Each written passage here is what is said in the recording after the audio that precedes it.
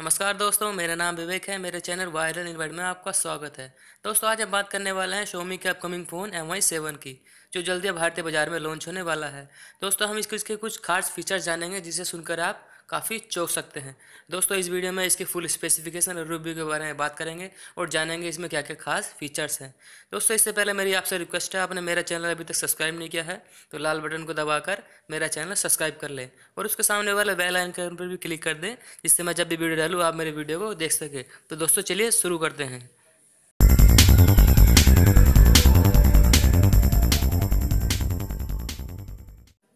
दोस्तों, सबसे पहले इस फ़ोन की डिस्प्ले के बारे में बात करें तो इसकी डिस्प्ले का size five point seven inch का है। वहीं दोस्तों, इस फ़ोन के रिजोल्यूशन की बात करें तो इसका रिजोल्यूशन पच्चीस सौ साठ, चौदह सौ चालीस का इसका रिजोल्यूशन दिया गया है।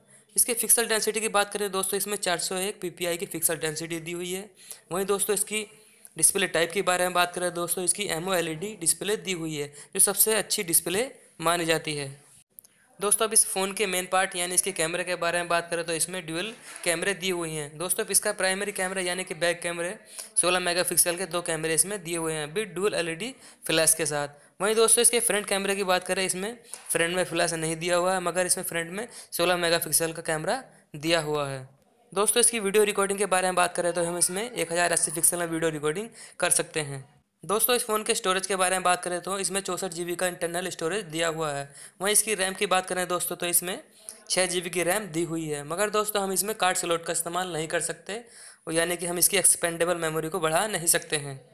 दोस्तों, इस फ़ोन के मेन पार्ट यानी इसके प्रोसेसर के बारे में बात करें तो इसका प्रोसेसर क्वालकॉम स्नैपड्रैगन 845 दिया हुआ है। वहीं दोस्तों, इस फ़ोन की फ्रीक्वेंसी के बारे में बात करें तो 2.4 पॉइंट फोर की इसकी फ्रीक्वेंसी दी गई है। इस फ़ोन की दोस्तों बैटरी के बारे में बात करें तो इसमें अड़तीस सौ की बैटरी दी हुई है विद क्विक चार्जिंग के साथ। दोस्तों इस फ़ोन की कनेक्टिविटी के बारे में बात करें तो इसमें दोस्तों ब्लूटूथ 4.2 की ब्लूटूथ दी गई है। वहीं दोस्तों वाईफाई विद हॉटस्पॉट के साथ 2G, 3G, 4G और 4G LTE वॉइस कॉलिंग के साथ दी गई है। वहीं दोस्तों इसके सेंसर के बारे में बात करें तो इसमें सभी प्रकार के लगभग जितने भी सेंसर होते हैं प्रोक्सीमिटी ज़ीरो सोप सभी प्रकार के सेंसर इसमें दिए गए हैं। तो दोस्तों, ये कुछ खास फीचर्स थे इस फ़ोन के जो मैंने आपके इस वीडियो में बताए हैं। मैं आशा करता हूँ दोस्तों, मेरी वीडियो आपको पसंद आई होगी। तो दोस्तों, मेरी वीडियो को लाइक करें शेयर भी करें। अगर दोस्तों, आपको कोई भी क्वेश्चन या सुझाव है तो आप मुझे कमेंट कर सकते हैं।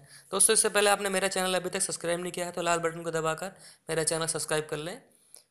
तो वीडियो देखने के लिए दोस्तों, धन्यवाद।